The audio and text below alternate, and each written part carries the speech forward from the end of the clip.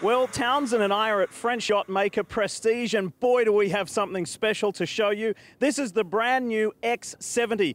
This was meant to make its worldwide debut at the Cannes Boat Show, but unfortunately that was cancelled. So Prestige is very proud, Townsend, to display this for the first time publicly here in Fort Lauderdale. Lee, this is a game changing boat for this brand. You see the very dramatic design change up front with the raked windshield. As a captain, that's the way to go. No glare. It's really easy to enjoy the tremendous visibility, but this boat is all about luxurious outdoor spaces to enjoy. It really is like a super yacht, but in 70 feet. Let's take a closer look.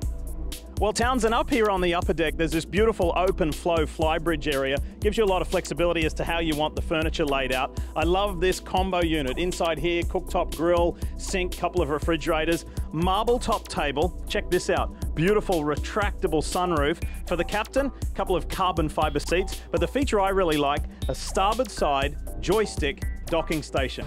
Townsend, where can we find you? The moment I walk into the salon, I'm just taken by the space and the innovation.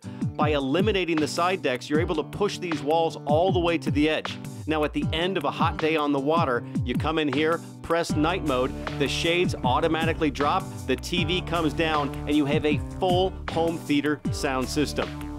And naturally, down on the bottom deck are four lovely guest cabins to enjoy.